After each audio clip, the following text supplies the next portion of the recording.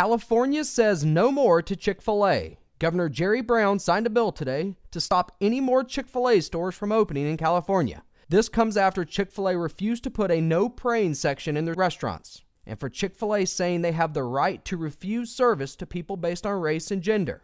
President Obama said he supports California's decision on this matter, especially after Chick fil A's wildly homophobic remarks following the shooting in Orlando, Florida. For News Anytime on Demand, WTTI, I'm Pat McGuire.